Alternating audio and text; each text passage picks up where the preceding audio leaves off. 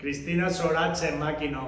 As you can see, her work is maximalist, a lot of details, a lot of things to look, a lot of things to discover, uh, really interesting uh, art.